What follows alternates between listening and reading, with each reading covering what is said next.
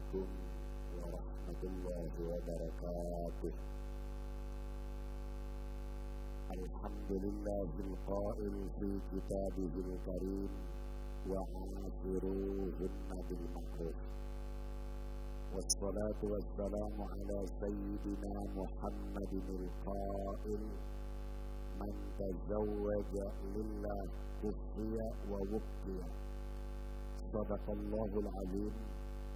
Puja dan puji marilah kita panjatkan kehadirat ilahi Rabbi Salawat teriring salam Senantiasa Allah curahkan keharibaan alam Habibana wa Nabiyana Muhammad Sallallahu alaihi wasallam.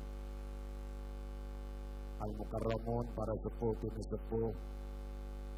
Berkhusus sahibil baik Bapak Haji Bapak Endang Bapak Endang Zehendar beserta besan juga kedua mempelai yang sama-sama kita hormati dan sama-sama kita muliakan hadirin wal hadirat rahimakumullah. Pada kesempatan pagi yang berbahagia ini kita berkumpul telah menyaksikan peristiwa sakral abdul nikah. Sunnah Rasulullah Sallallahu Alaihi Wasallam putra putri kita yaitu saudara Aldi dan Neng Fitriana telah kita saksikan lancar tidak ada halangan. Kita doakan semoga kedua mempelai rumah tangga sakinah mawaddah warahmah amin ya Allah ya Rabbal alamin. Insya Allah nasihat tidak perlu lama. Aldi paham Sunda Neng paham Sunda. Orang Sundanya sok kurang nasihatnya campur baik. Ayah Indonesia ayah Sunda. Insya Allah seketik seor Allah subhanahu wa ta'ala nyiptakan manusia berpasang-pasangan di antaranya tujuanana litas kuno ilaiha supaya anteng hidup di alam dunia. Insya Allah kalau memang Aldi menyatakan kepada istri istri itu seolah-olah ayat-ayat Allah. Dan daripada ayat-ayat Allah itu di antaranya Allah ciptakan berpasang-pasangan kalau suami menganggap istri ayat-ayat Allah min jumlati ayat-ayat Allah maka tidak ada seorang suami yang akan galak kepada seorang istri yang akan menghancurkan rumah tangga kepada istri kalau dia anggap ayat Allah. Begitu juga istri kepada suami. Kalau menganggap ayat-ayat Allah ciri-ciri kekuasaan Allah di antaranya Allah ciptakan seorang wanita seorang laki-laki maka tidak ada istilah istri nalundak seorang sunnah maka menjadi suami namun memang kurang dianggap itu ayat-ayat Allah. Maka sebab dari itu jadikanlah pernikahan ini yang awal dan yang akhir. Mudah-mudahan seperti pernikahannya Rasulullah Shallallahu Alaihi Wasallam dengan Sayyidatina Khadijah al-Kubra. Dan saya ingat ketika Rasul berdoa setelah menikahkan putri tercintanya Sayyidatuna Fatimah Zahra. Tadi yang dibaca oleh Bapak Taura doanya. Barakallahu laka wa baraka alaika wa jama'a bainakuma fi khair. Barakallah, mudah-mudahan cek Rasulullah kaputrina Sayyidina Fatimah Zahra dan Sayyidina Ali mudah-mudahan wahai Ali anjen rumah tangga diberkahkan ku Allah Subhanahu wa taala ketika kamu mendapatkan kesenangan dalam rumah tangga semoga kesenanganmu menjadi berkah dan apabila kamu mendapatkan cobaan kesusahan dalam rumah tangga semoga kesusahannya pun menjadi berkah jadi senang nak berkah susah nak ber Insya Allah kapan alin oke bapak ber Alhamdulillah.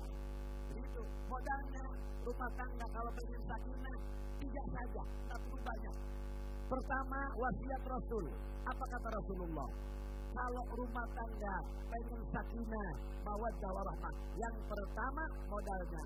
Aldi Nengkutiana modal pertamanya mati sholat adegan so laksanakan so dirikan so kenapa hubungannya sholat dengan rumah tangga sangat erat pasti Allah berfirman dalam Al-Quran, Inna salata tanha anil fahsya'i wal munkar. Sesungguhnya salat ngajaga perbuatan goreng jeng akhlak anu goreng.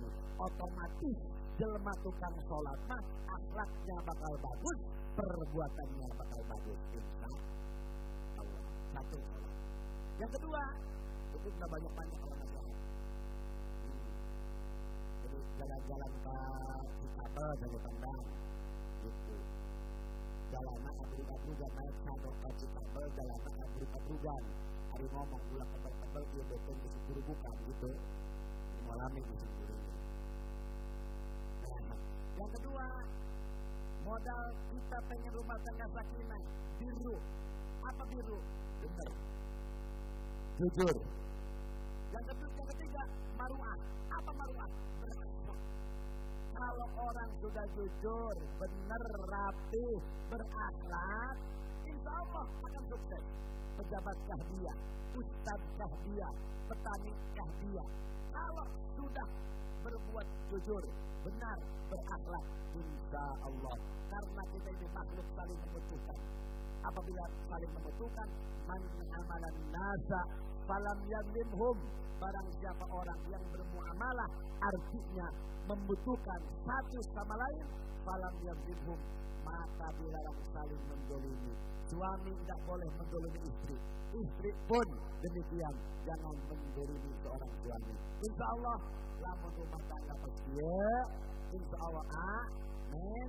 Bakal sakinah mawadah warahmah amin ya rabbal insya Allah Haji percaya aman Nabi Alif.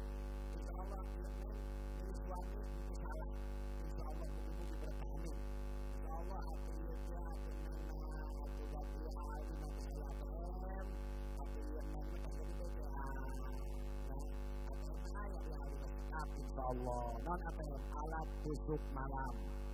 Insya Allah Ya ayah di Aldi Aku mana jadi BCA Non BCA barang Colokin Aldi Pertama yang kita colokan Baik sama plus polos Jadi insya Allah rumah tangganya sakinah mawadah warahmah. Amin ya rabbal.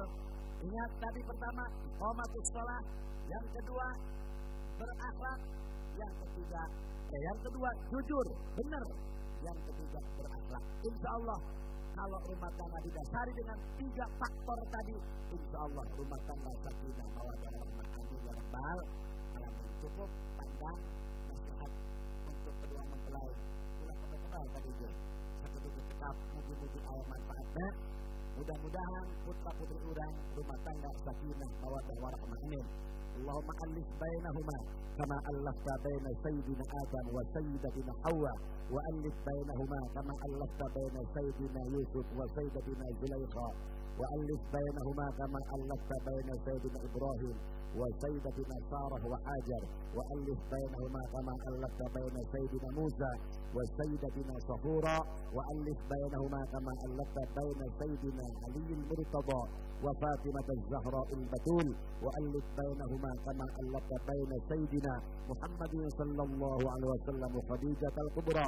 اللهم ارزقهما ذرية طيبة اللهم ارزقهما ذرية طيبة اللهم ارزقهما ذرية طيبة ربنا آتنا في الدنيا حسنة وفي الآخرة حسنة وقنا عذاب النار. والحمد لله رب العالمين. والسلام عليكم ورحمة الله وبركاته.